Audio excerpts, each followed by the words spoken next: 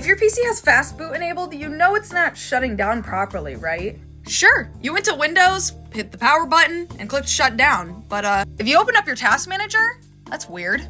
You should go into your BIOS to disable this, but uh, I think I found a loophole. I say I found, but I literally watched a YouTube video.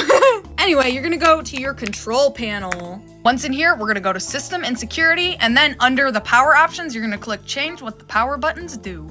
Obviously, there's a fast startup button here selected, but it's grayed out. We can't select it, so we have to, uh, you know, do a little loop.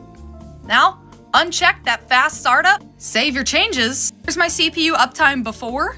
Let's really shut this baby down. Oh yeah.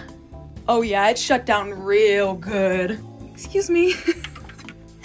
Look how dirty my monitors are. 10,000 likes and I'll clean it. oh yeah, she feels more fresh. Listen to her purr. Now in our task manager, nice. And my PC started at the exact same speed. I think I'm done though. I don't, I don't know. Should I, am I good?